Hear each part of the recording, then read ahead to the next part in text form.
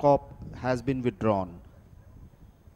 So Tough Cop has been uh, withdrawn and they're away and racing for the opening race of the afternoon which is the A Geddis Plate to almost a level start by all the runners and as the field settles down they pass the St. Patrick Cathedral. It's a blazing bay on the outside as they pass the 1200 in the golden brown leads the way to Arabian Storm in the red and gold in second.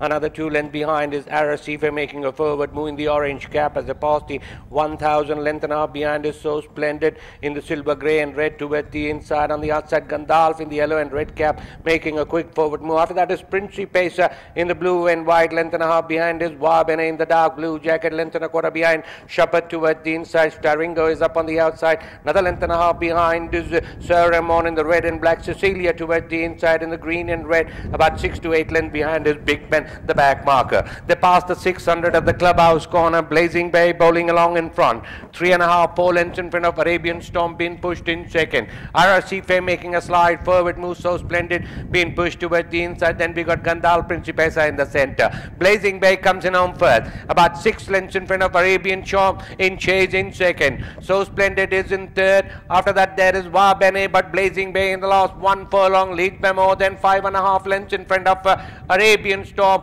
Then we got Princey Pesa is warming up far too late, but Blazing Bay is going to make it pillar to post from uh, Princey Pesa. Then we got Arabian Storm, so splendid. Wabene. After that is Sir Ramon Shapat, Cecilia Gandalf, Arrecife, Big Ben, Lost Man Home, Mr. Ringo.